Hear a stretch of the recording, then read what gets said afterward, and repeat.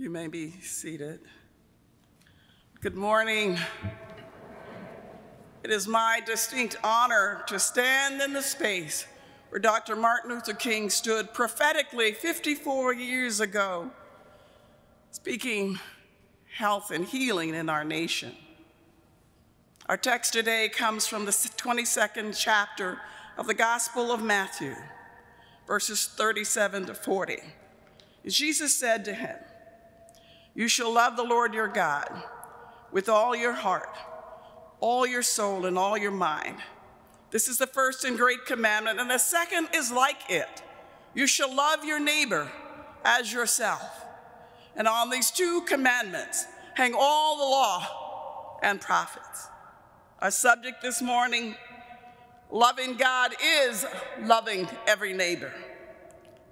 This weekend, during what would have been his 93rd birthday and 54 years since his final speech in Memphis, influential leaders and school children alike will celebrate Dr. Martin Luther King Jr.'s life by reciting his famous I Have a Dream speech and evoking his incredible and unbelievable accomplishments over 39 short years of life.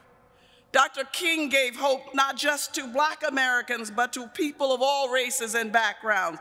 Hope for an America where we the people would finally mean all the people. Yet today, Americans' race relations are at their absolute lowest and based on the same question for which more than 600,000 Americans fought and died in a civil war 161 years ago over the full humanity and citizenship rights of black Americans. Today, white terrorism based on a 400 year unholy lie of white supremacy is called by the FBI America's greatest threat. Today, efforts to hide from school children evidence of historical injustices impacting citizens of color has provoked banning any books on race that might even include the US Constitution and the Bible. And today, brazen attempts to erase the sacred citizenship rights to vote for which Dr. King, John Lewis, and so many others gave their lives now seriously threatens our very democracy. If we look only to Dr. King's accomplishments to measure how close America has come to being the multiracial democracy he envisioned, even the most optimistic among us are moved to ask some serious questions like, is America possible? Is democracy sustainable? And are we on a dangerous path from democracy to tyranny? So instead of examining Dr. King's amazing accomplishments to measure racial and economic progress, I suggest we look at his unshakable faith and foundation of love for God that fuel his unwavering commitment to achieve equality for all Americans during our nation's darkest days. So we should ask ourselves this morning, how is it possible? How could Dr. King possibly, at age 26, a millennial, in 1954, recently married and installed as pastor in the Dexter Avenue Baptist Church in Montgomery, Alabama, leave a relatively comfortable life and answer the call sparked by Rosa Parks' 1955 arrest to lead a nonviolent movement for racial equality that would surely evoke violent responses and endanger he and his young family. The only answer is his deep rooted faith and love for God, far bigger than his love for himself or anything else. In fact, Dr. King's entire life of selfless, sacrificial service can only be summed up in our text today. In our text, Jesus is approached by a group of religious leaders trying to trip him up, as it were, asking him a question. Teacher, one asks, which is the greatest commandment in the law? Now, the religious leader is actually trying to embarrass Jesus with a question he believes he cannot answer by asking him which is the greatest commandment in the law, knowing that there were 613 commandments from Genesis to Deuteronomy. But Jesus answers about the great commandment, meaning one commandment with two inseparable commandments. You shall love the Lord your God, and you shall love your neighbor as yourself. First, you shall love the Lord your God. In the first book of the Bible in Genesis, we find a holy, righteous, self existing, self creating, omnipotent God, creator of heaven and earth, who stepped out on nothing and created everything, not needing anyone to love. But in First John, we're told that God is love, and we know that love is best expressed in community. So the God of Martin Luther King Jr. is a relational God and a loving God who created humans for to live in totally perfect, loving harmony with himself.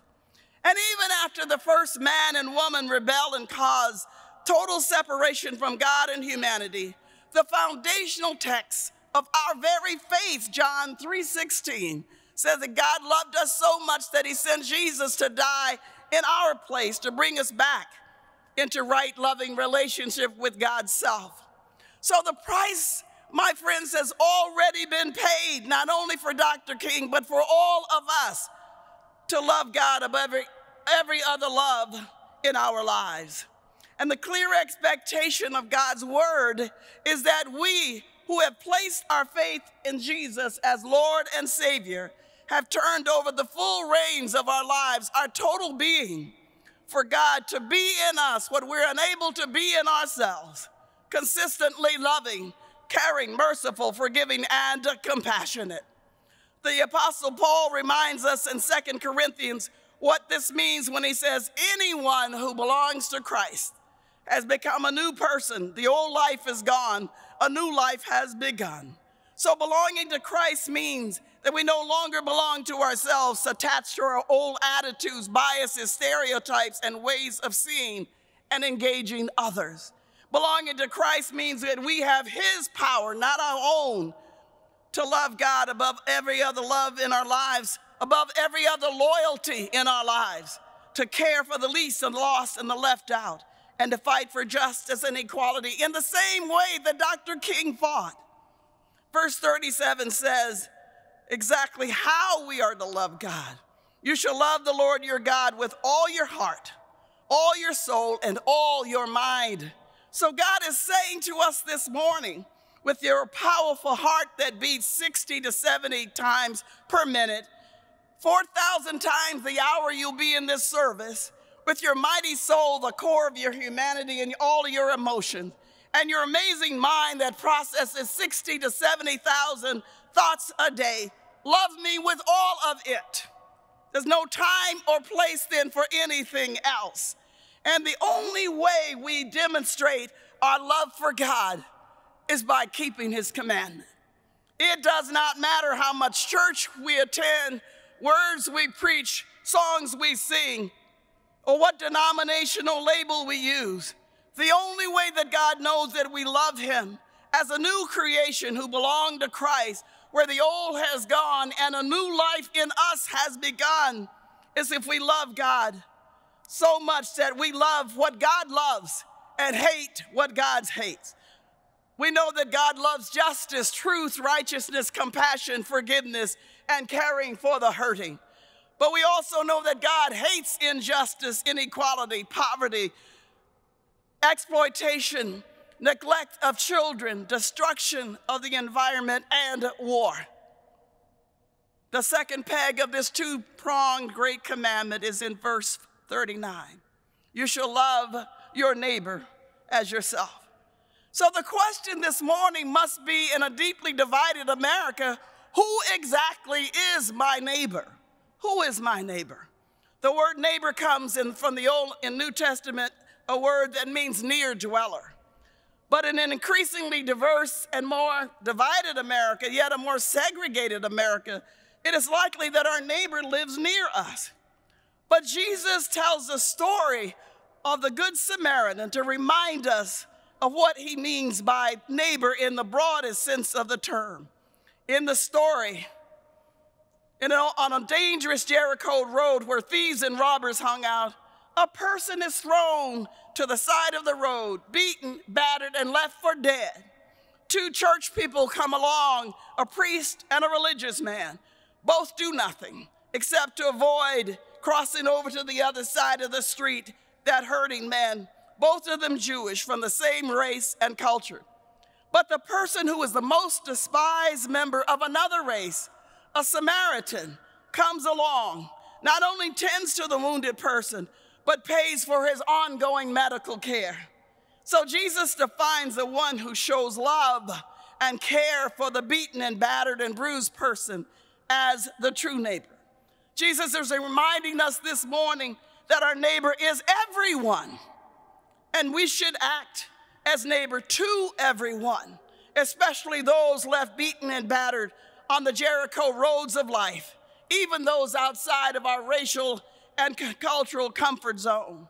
To love my neighbor, I must intentionally get to know and understand my neighbor, not demonize or use my power to harm my neighbor, not handpick the neighbors who look, think, act, and vote like me, but the ones that God sends, and not use my political power to advocate for laws that make my vulnerable neighbors even more vulnerable.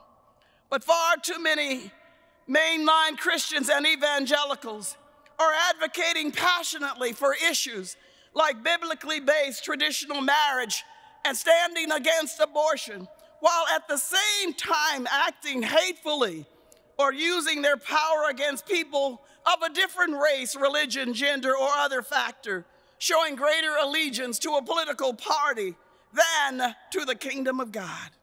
Loving my neighbor does not require me to disobey what I believe the Word of God says about any issue. I can love my neighbor and still hold a different view. First John makes it even clearer, and he says, We love because he first loved us.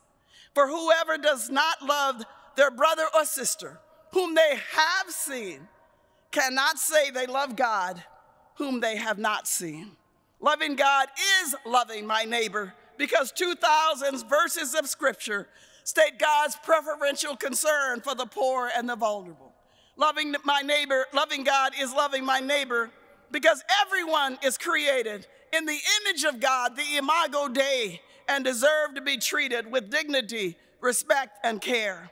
Loving God is loving my neighbor because God equates our love for him by exactly the way we treat the least, the lost, and the left out of our brothers and sisters loving my neighbor is not an abstract notion, and neither is God's love for you and me. Even during this long, surreal pandemic that is causing so much suffering, we also have experienced God's protection, His healing, favor, and care in some very tangible ways. So Dr. King did not just love God in a general sense, he acted very specifically. 100 million Americans state today that they have claimed Jesus as their Lord and Savior. At the same time, we cannot claim to love God while leaving bruised and battered on America's Jericho roads, caged brown babies, black people facing police brutality, children living in poverty, color, children of color in, from school to prison pipeline, families of color caught in a racial wealth gap from banking and housing discrimination, Asian Americans facing hate crimes, women encountering workplace bias, and people robbed of the sacred right to vote by Democrat, undemocratic Jim Crow 2.0 anti-voting rights laws perpetuated by those as committed to maintaining white minority rule today as Bull Connor and George Wallace in their day. Love is both an emotion and an act of your will and my will. So, beyond quoting Dr. King, the question we're challenged to ask today is Is our will strong enough? Are we leaning more toward loving God than loving every other passion and party and politic and value system with the same passion that Dr. King, King had to love our neighbors as ourselves, especially those beaten and battered by life. But what gives me the most hope today when we, as we celebrate the God inspired life of Dr. Martin Luther King Jr., we celebrate one who led a movement fueled by young people for all of us, but especially for young leaders today concerned with injustices of our nation. I say to you, it is not your fault, but it's your time.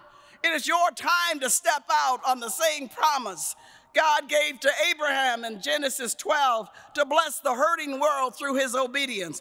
It is the same promise that Dr. King embraced to bless the whole world through his pursuit of justice and equality for all people. Dr. King was not just a dreamer, he was a doer. You and I have the same spiritual power that, G- that King had. This power that got Jesus up out of the grave is available to you and I when our lives are rooted in Christ. Today, today, what we know is that the same spiritual power brokers who left the man for dead on that Jericho road also left Jesus bruised, beaten, and battered for dead at Calvary.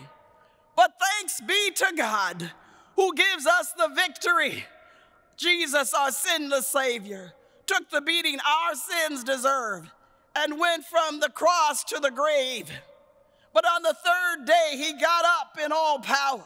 So you and I could get up, get up free from all of our bigotry, get up to save our faltering democracy, get up to help lift every child out of poverty, get up to overcome white supremacy with the supremacy of love over hate, and get up to become bridge builders of a multiracial democracy where every life has value and no one has a lack. In his very last speech in Memphis, Dr. King said, I have seen the promised land. I may not get there with you, but I want you to know tonight that we as a people will get to the promised land. He was not talking about the eternal promised land, but the promised land of the beloved community right here in America, where every life matters and where systemic injustices are finally dismantled. We do, my friends, have some very dark and difficult days ahead, standing right now between chaos and community, democracy and tyranny, when rights like voting rights we thought were already won are now seriously threatened.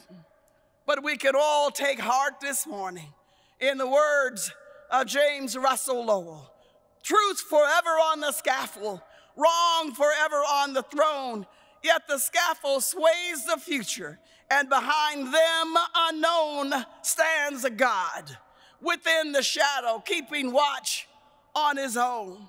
Loving God is loving every neighbor, and loving God is not only loving every neighbor, but it is pleasing God who has all power in his hand to help you and me become the warriors and champions for justice and equality. Every one of us has that power. Every one of us has that choice today if it is our will. God is ready. He is waiting for us. Our world will not change until we say, Here, God, take my life. I surrender it completely to you, all my value systems, everything that is holding me back from bringing equality and injustice to a halt in our nation. Look at Dr. King. Look at Dr. King and be amazed, but look at yourself and see the possibility of doing the same exact thing that he did serving the same God. God bless you.